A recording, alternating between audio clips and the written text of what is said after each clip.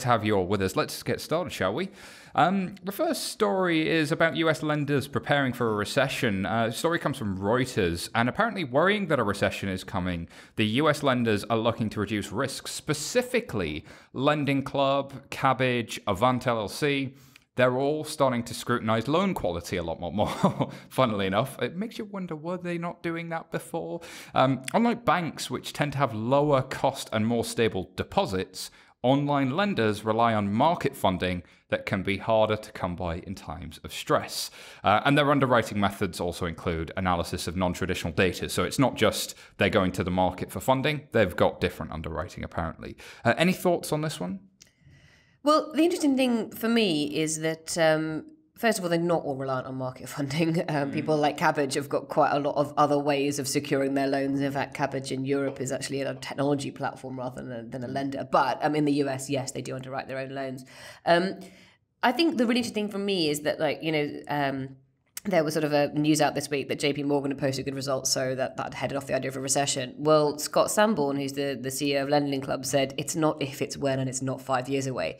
Um, just, I mean, I, I just to, to, the point, one point to make there is that yes, they look at non-traditional data, so maybe they have insight that other people don't have at this point. Is interesting. Um, well, yeah. I think is interesting. Lending is a cyclical business. Anyone who thinks it's not is wrong. It's just been a really, really long 10 year period. I was at a breakfast the other day and uh, one of those Chatham House, no one talks about at breakfasts, but a lot of uh, bank tell us, CEOs, tell us, tell us a lot of bank CEOs, including the Bank of England, um, were saying that it's been 10 years and like the departments, all the institutional knowledge about how to cope in that period of recession, that period of downturn is gone.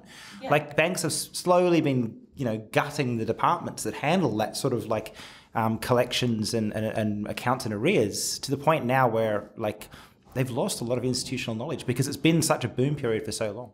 I was just going to say, I mean, the, the, the thing about uh, alternative risk is quite interesting because, you know, SoFi kind of coined this like Henry high earning, not rich yet market where they basically lend to like Ivy Leaguers and, and assume the best. And, and it's quite interesting to, to kind of contrast that to the, the fact, obviously, like it's still an early business and, um, you know, past performance doesn't necessarily equal future. Um, and, you know, although those people right now are in good positions in, in, on paper, they're good, you know, will they have the same growth and, and uh, salary opportunities as their parents' generations and the people that gone before them? And I think they're kind of banking quite a bit on, on perhaps that, that, that just sort of following this cycle. And it just keeps going. Yeah, but, yeah. But, but my point, my point was to make that people like Lending Club in particular, I mean, Lending Club has messed up. A few of these guys have got this wrong they've got these models wrong and it's been very public and very painful and they've had to go back and recalibrate. So if anything, I think to sort of counter Simon's point, if anybody's learned a lot recently, it's these guys. They they have had made mistakes. They've made mistakes in their calculations. They've had loan books go wildly awry and suffered horribly for it. So I don't think it's surprising that they're being cautious. I also do agree with the point that there is there is a break point coming.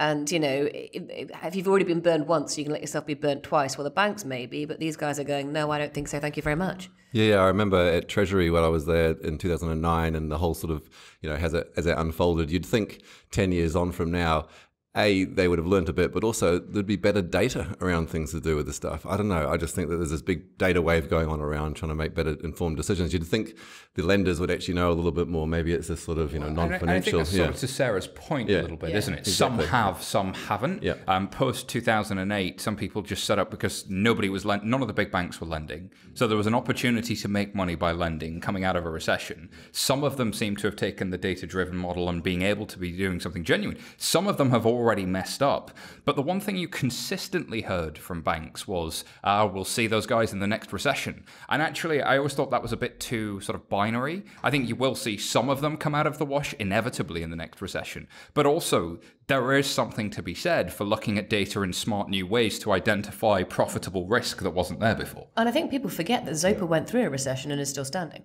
So Zopa was founded before the recession and was lending before the recession and is still going.